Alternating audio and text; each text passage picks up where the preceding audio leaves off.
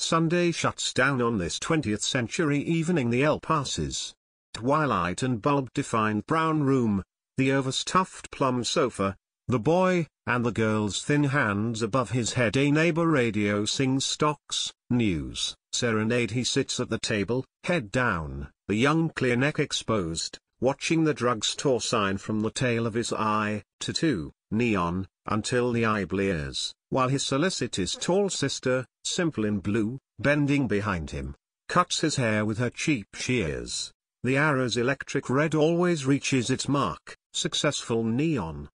He coughs, impressed by that precision his child's forehead, forever protected by his cap, is bleached against the lamplight as he turns head and steadies to let the snippets drop erasing the failure of weeks with level fingers, she sleeks the fine hair, combing, you'll look fine tomorrow you'll surely find something, they can't keep turning you down, the finest gentleman's not so trim as you.